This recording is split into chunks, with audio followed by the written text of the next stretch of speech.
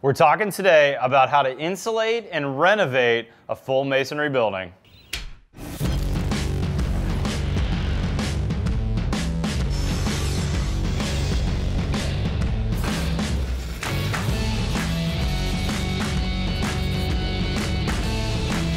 We're at our West 10th Street project, and remember this is a historic 1876 built house with two foot thick masonry walls.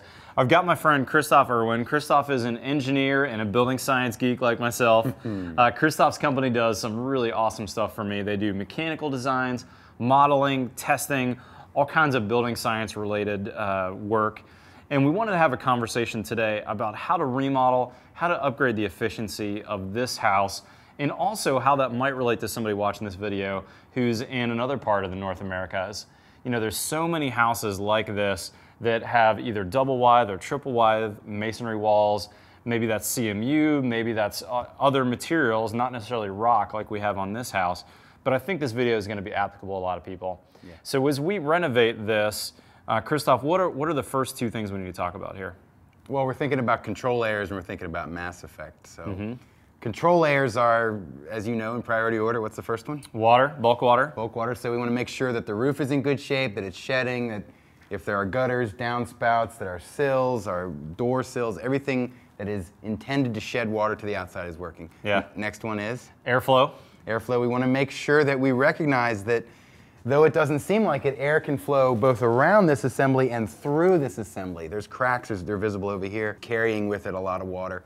Water is the third one. Vapor, water vapor moving through this wall. Mm-hmm. As massive as it is, it is open when it comes to water vapor. Water vapor yeah. can move from the outside in, and that is where it is here in summertime in Texas. So a quick example of that, meaning if this if this rock wall gets wet on the outside from rain or sprinklers, that moisture is going to migrate through the wall and it could add humidity to the house, correct? Absolutely, yes. So it's hot and humid outside, cool and dry inside hot to cold, wet to dry. Both drives are toward the interior. absolutely right. And what's that last control layer?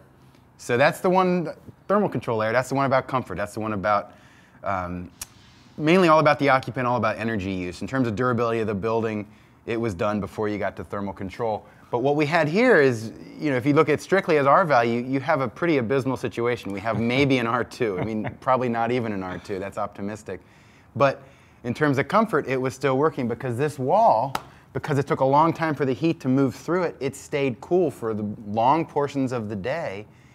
And because it's cooler than you, you radiate heat to it, you lose heat, you feel cool. So that cooling effect was happening here. Where does that heat go, right? We just talked about you radiating to the wall.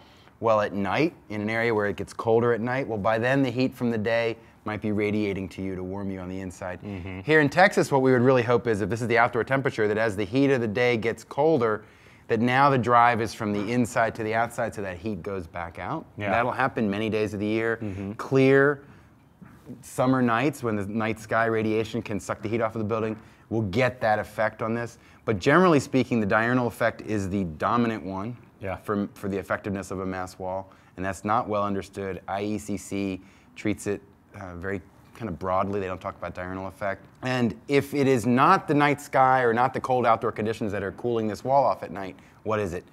It's your mechanical system. Yeah. Again, kaboom, you have a benefit here. You have your mechanical system operating at night.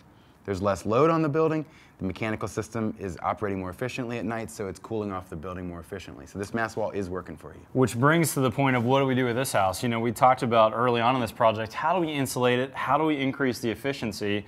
And I think for a cooling dominated climate, if you're in the south, you know, it actually makes sense to, to take full advantage of that, not insulate on the inside. The yeah. ideal place to insulate would be on the outside. Yeah. You know, do a, do a, let's say a weather resistive barrier that's fluid applied on the outside, add an airspace and also get some great rigid foam insulation, let's say in the outside. Right. But here we've got a historic building. I've got a plaque out front. I cannot change the look on this one. We're gonna insulate the heck out of the roof. You know, we're gonna do a great roof line with rigid foam on top, with spray foam on the inside. We're gonna make it super airtight.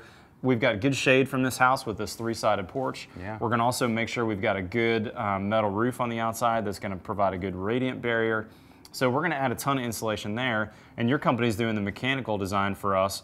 We're gonna be using a, a VRF system here that's a very high efficiency Talk to me about how that mechanical design integrates with, uh, with a house like this with the thermal mass. So the thermal mass is going to introduce uh, load variations over time that are going to shift, basically shift the heat load to later in the day.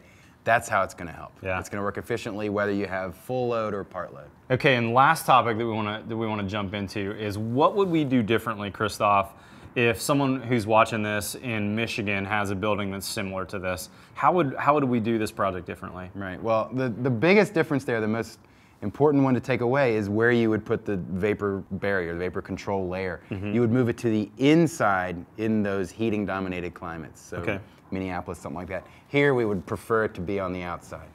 So in this case, how would we? Can you give me a couple of assembly ideas on how we might do that on on a house like this, full masonry?